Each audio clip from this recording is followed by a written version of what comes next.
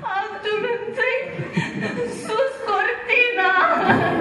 V-ați pus vreodată întrebarea ce se întâmplă în culisele unui spectacol? Ce probleme personale au actorii? Dați frâu liber râsetelor la Scandal în culise, ce are loc pe 17 mai, ora 18 la Ateneul din Iași. Bilete pe ateneuiași.ro